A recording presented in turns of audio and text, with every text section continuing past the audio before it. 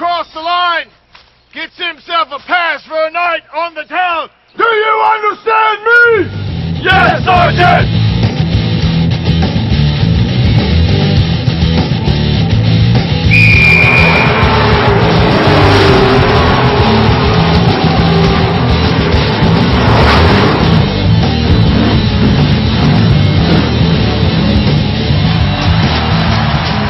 When you finally reach Victory Lane, everybody wants to cut loose and have a good time. But if your celebration includes alcohol, you need to be smart and plan ahead. Be sure you designate a driver or call a cab or make sure public transportation is available.